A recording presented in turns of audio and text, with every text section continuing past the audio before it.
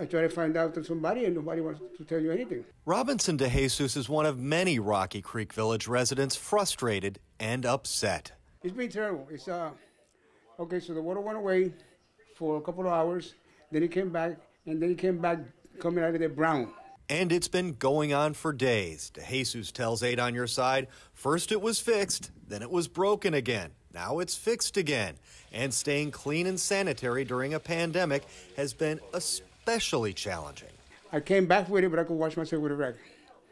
So if you go to my bathroom, I can show you what I got over there on the floor a bucket with water, you know, to clean yourself. We hurried up as fast as we could, oh, darling. Thank you.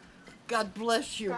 Earlier, Kelly Lindenmeyer distributed water donated by Walmart to the residents and wonders why the park didn't step up to the plate. So this park has only delivered water to their assisted living patients and has complete and they've completely neglected all of these independent living residents. This resident who didn't give us his name wonders the same thing. They should have had something like that over here, a truck. You know, say, listen, people, the water's off. Come over, get as much water as you need. We're sorry for the inconvenience.